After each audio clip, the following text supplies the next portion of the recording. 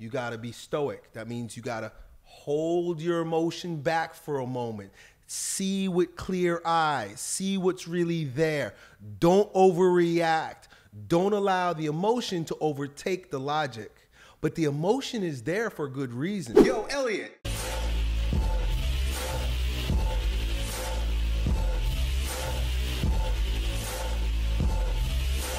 Yo, Elliott, how can one unify emotions and logic so that they no longer cause disharmony in one's psyche?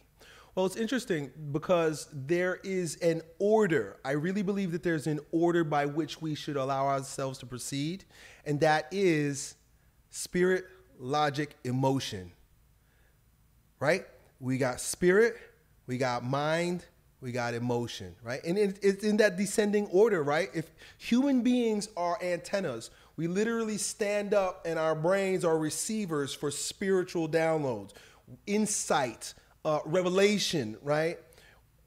Even just being present to the moment in order to see what is so that we can choose is a spiritual act, right? It's a very human act, it's very uh, conscious.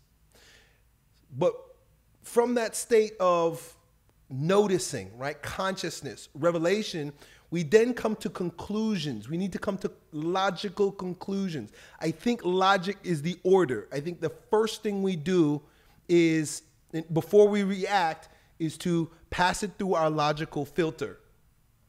And that means you gotta be stoic. That means you gotta hold your emotion back for a moment see with clear eyes, see what's really there. Don't overreact. Don't allow the emotion to overtake the logic. But the emotion is there for a good reason. A lot of times, the first reaction is the first reaction in the body physiologically is emotion. It, it, it, it, it comes because it's so much more primal, the limbic system, it comes in before the logic, right? And, you know, it's funny that I say this right now because to to to make a man to let me put it this way. A man is spirit mind emotion but an animal are are the way we've come is limbic system right? We have a triune brain right? We have the the lizard brain right? The, the reptilian brain right? The neo-reptilian brain and the human brain right? The neocortex the new brain right and so we have to work, even though we grow out of our root from that, right? We grow from the spine, from the brain stem, right, which is emotional, is reactive, right, or more reactive than emotional, to the emotional brain, right, to the uh, to the to the to the, the neo mammalian brain, and then to the logical brain, right. But then we have to operate from this way. So we grow this way, but we operate this way. We grow from the ground up, but we operate from the from the spirit down, from the sky down. And so we got to pass things through our logic, but because we grow this way, a lot of times the emotion comes first. And so we have to be strong enough to temper the emotion with our logic. But we also need the emotion to help fuel our logical decision, right? You make a logical decision then you rip off that emotional band aid and you let all the blood flow. You see what I'm going? Like once I know the direction I'm going in, that's when I can rip it all off and go crazy with emotion. Like I'm an emotional dude. You know that? Do you know that? Do you know that? You know that? Yo, Elliott's an emotional dude. I'm an emotional dude, but I have it under my logical control. Do you get that? You see the difference? I'm very emotional. Even I, I couldn't express myself with the charisma that I do if I was not an emotional guy. But you notice it's like it's like a an emotional person without logical control is like a three-year-old with a machine gun, right? You give a, a give a um, uh, AR-15 to a five-year-old kid, they're gonna blow shit up, and it's just gonna be it's gonna be chaos. What we need to do is grow up as a person, and that way we can put that AR-15 into the hands of a logical grown man. That's really what it is really what it is. So we need both. We need emotion, we need logic, but we need to put them in their right order, put them in their right place.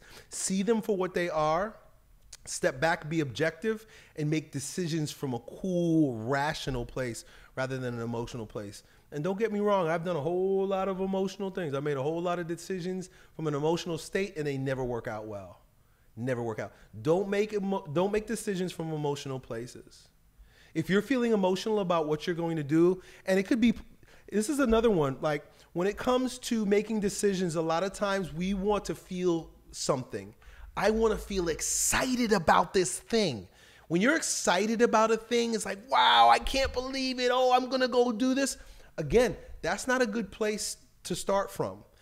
Just like, oh, I'm angry, oh, I'm going to go and tear his head off.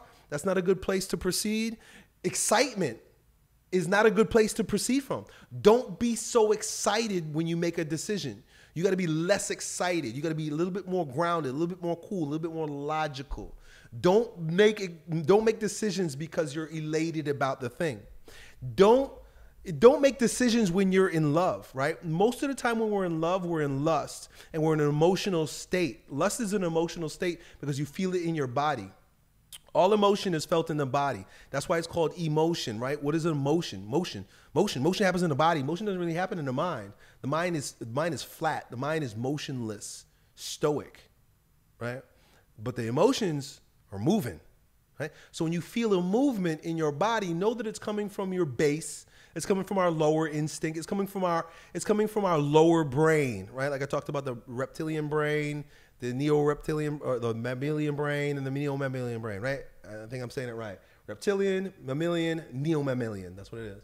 So a lot of times we're operating from our reptilian brain, right? Whoa, feeling angry, feeling good, feeling sad, feeling sex. You're operating from your reptilian brain. Do not operate from the reptilian brain. Let the reptilian brain do what it does best, but then you have to step back and you gotta look at it logically with your human brain, with your neo mammalian brain, with your new man brain, bro. Hope that helps, dude. Done. Yo, it's your bro Elliott. I hope you enjoyed that video. If you did, you ought to know that it was a clip from one of my most recent King Transformation classes with my students, where, among other things, we get together about four or five hours a week and we speak on things as it relates to becoming kings in our lives in fitness, business, and with women If that sounds like you and you want to join a like-minded group of men who are growing stronger every day in every way in this degenerate age, then it's real simple. Just follow me on Instagram and then DM me the word King, K-I-N-G, and then me and my team will get back to the details to see if you qualify. I really hope to see you at the next meeting. Done.